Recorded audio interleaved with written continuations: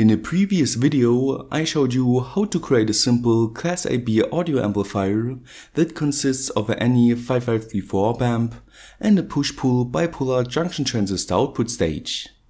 Now, even though the circuit did work decently, there was one problem.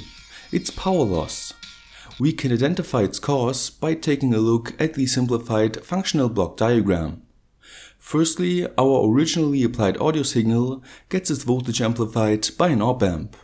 Since such op amps can only supply very little power, the next part of the circuit is a BJT output stage that modulates the supply voltage of 12 volts to become the audio signal that is not only voltage amplified, but can also supply sufficient current for the speaker.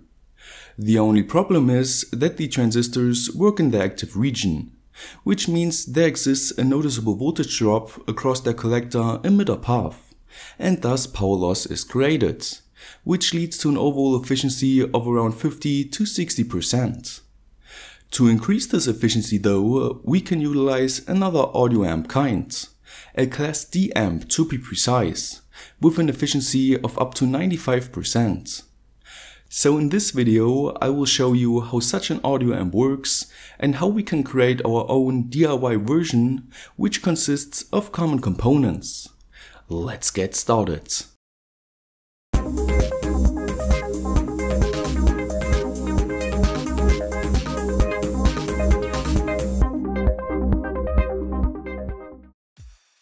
First off, let's have a look at the simplified functional block diagram of a Class D amp.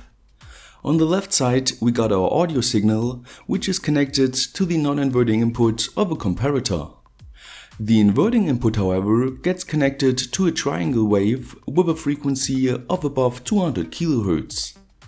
Now whenever the voltage of our audio signal is higher than the triangle voltage, the output of the comparator gets pulled high and vice versa.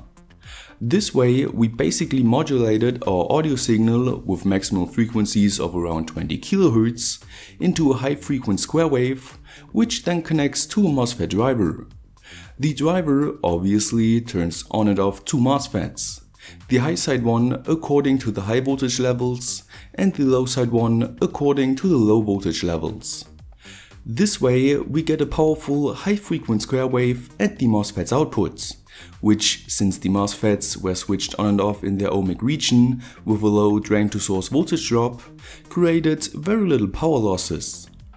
Now we can recreate the original audio signal by adding an LC low pass filter, which, like the name implies, filters out all the high frequencies and leaves us with our original, now amplified audio signal. As suitable components, we can use a 555 timer, a LM393, a 74HC04 to create an inverted signal of the high frequency square wave, which is mandatory for the IR2113 MOSFET driver, and two IRLZ44N MOSFETs. Before we can solder a proper circuit though, I utilize the free EasyEDA circuit design software to create an appropriate schematic. By utilizing the online component library, I imported all the required ICs and passive components and afterwards connected them all to one another according to the previously discussed functional block diagram. The only question left to answer was what kind of values should be used for the LC filter. According to a commercial Class D amp that I had lying around, inductances of 22 microhenry should be suitable.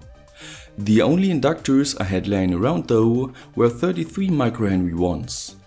So I connected two of them in parallel in order to create a 16.5 microhenry value and wrote down the two formulas to calculate the inductance and capacity of a LC low pass filter. If we rearrange the inductor formula and insert the load impedance of 4 ohms according to the speaker properties, and the inductance of 16.5 microhenry, we can calculate a cutoff frequency of around 40 kHz, at which the original voltage amplitudes will be lowered by 3 dB, or 40% of the original amplitudes. By inserting this frequency into the capacitor formula, we get a capacitance of around 1.03 microfarads, which I created by connecting 5 0.22 microfarad capacitors in parallel.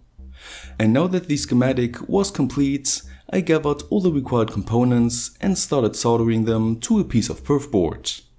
As always, I tried to utilize silvered copper wire for the most part, but still had to use a bit of hookup wire at the end. And of course, you can find reference pictures of my perf board layout as well as the schematic for this project in the video description. After 3 hours of soldering, the circuit was complete and it was time to insert all the ICs, connect a 15 volt power supply to the input and a speaker to the output. As a first test, I hooked up my function generator set to a sine wave with a frequency of only 1 Hz to the audio inputs.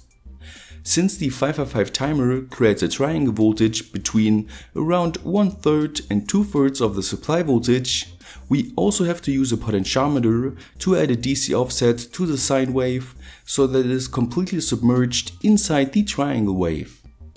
If we now take a look at the output of the comparator, we can see how the slowly changing 1 Hz sine wave creates the modulated high frequency square wave.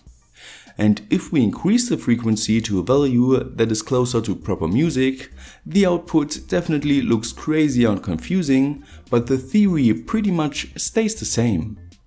But by using lower frequencies, we can actually create a lot of visible vibrations of the speaker cone, which showcases that this class D amp is pretty damn powerful for its simplicity. And as you would have expected it, by increasing the frequency of the sine wave, we produce higher tones, which means that the amp works without a problem. So I replaced the function generator with my smartphone and tested the music playback capabilities of the amp. As you can hear, the music playback also worked like a charm, but the volume was a bit low. The reason for that was that the music signal only features a peak-to-peak -peak voltage of around half a volt, while the function generator easily created peak-to-peak -peak voltages of 4 volts. So as an afterthought, I added an LM386 op amp in between the input audio signal and the comparator, which didn't even require complementary components. Afterwards, the audio signal consisted of a peak-to-peak -peak voltage of 4 volts as well, which was suitable to create a much louder playback of the music through the Class D audio amp. Now of course, this circuit is definitely not perfect. However, the audio quality is pretty decent and more importantly, maybe you learned something new. If so, don't forget to like, share and subscribe. Stay creative and I will see you next time.